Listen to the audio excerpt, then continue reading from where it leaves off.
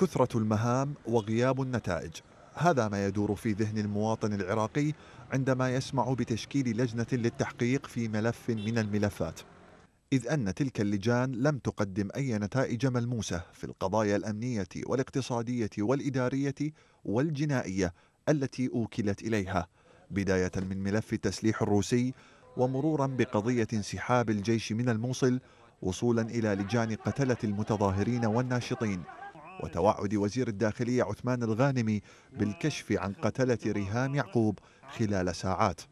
وبرغم أهمية تلك القضايا التي تسببت بأزمات كبيرة إلا أن عمل اللجان التي أوكلت إليها تلك القضايا يحاط بسرية تامة بدءا من أسماء أعضائها وآليات عملها وانتهاء بالنتائج التي توصلت إليها. أما مصداقيتها فيرى الجميع أن قرار تشكيلها بالأساس ما هو إلا خدعة للتستر على جرائم الحكومة وميليشياتها.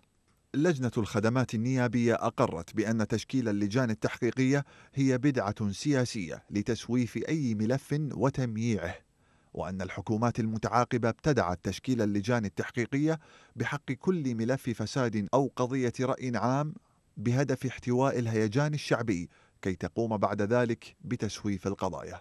عضو اللجنة ينادم كنا قال إن تشكيل اللجان التحقيقية في كل دول العالم معمول به لكشف الحقائق والمقصرين إلا في العراق. فإن تشكيل اللجنة يعني إغلاق الملف وتسويفه والخاسر الأول والأخير هو المواطن.